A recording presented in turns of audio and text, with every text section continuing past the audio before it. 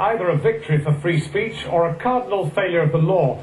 Captured on film making abusive comments about Asian men, the jury concluded that BNP leader Nick Griffin's remarks did not amount to inciting racial hatred. Tonight, Chancellor Gordon Brown has ventured onto Home Affairs territory to warn that the law may have to be tightened to cover such remarks. Also tonight, deconstructing MI5's warning of burgeoning groups of terror plotters and the young Muslims they're grooming for suicide.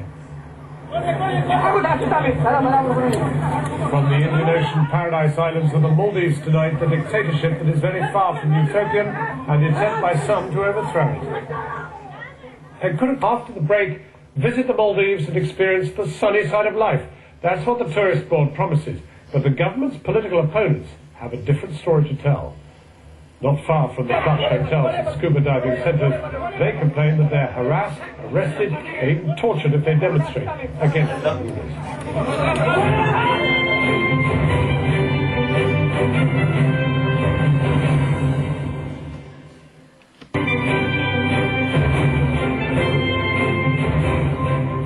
It's become a holiday destination favoured by the well-heeled, but away from the eyes of tourists, the government of the Maldives has been cracking down on political dissent. The opposition Democratic Party had planned a week of demonstrations, culminating today in an attempt to overthrow the government. President Maumoon Abdul Gayoom has been in power for 28 years, and the opposition wants change, but their hopes of a peaceful revolution were quashed. From the capital, Male, Channel 4 News has obtained exclusive pictures of the tactics used to stop this revolution. Sue Turton has this report.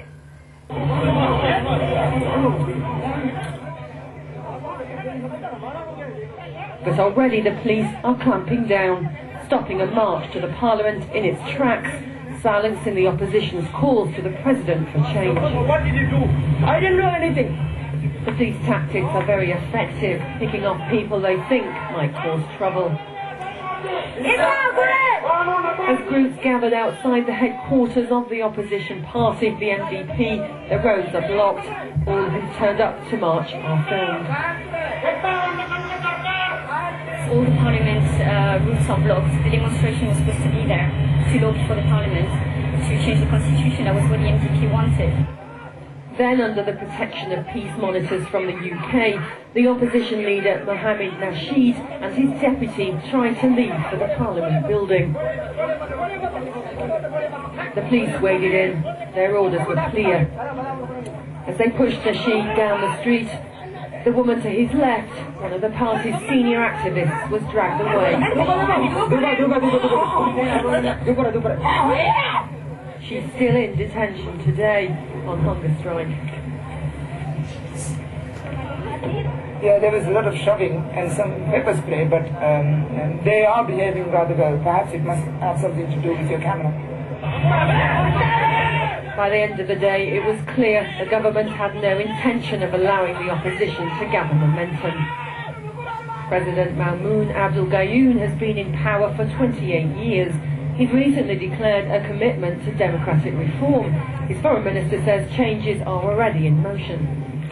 I think things have changed very fast in this country. Amnesties, criticisms, and other criticisms now are about two years old. And in that two-year period, we have been able to achieve monumental changes here. The initial criticisms led to a time when there were no political parties here. Now we do have uh, three or four parties which are very, very active.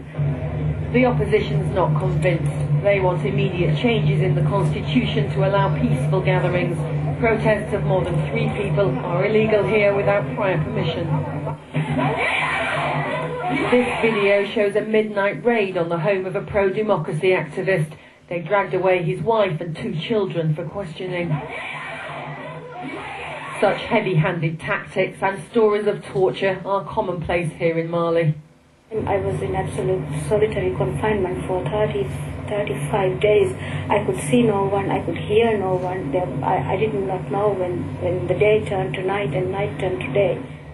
It's a far cry from the brochure pictures of this holiday paradise, from the honeymoon suites and scuba dive centres, a travel industry that accounts for a third of the island's economy, improving the country's GDP and filling up the state's coffers. But most of the nation's 300,000 mostly Sunni Muslims who live in the island's crowded slum dwellings have seen none of the benefits. The next day, the second of their planned week of protest, the riot police are back in force, sweeping through the streets, moving everyone on. It leaves those people who believe change was about to happen demoralised. We want freedom. That's the things that we want right now. They don't want people to demonstrate. They won't show the world that this country is peaceful. The opposition today abandoned plans for a peaceful revolution, afraid it would end in bloodshed. But in spite of a promise to bring democracy to these islands, it's clear President Gayoom is far from ready to accept any protest against his regime.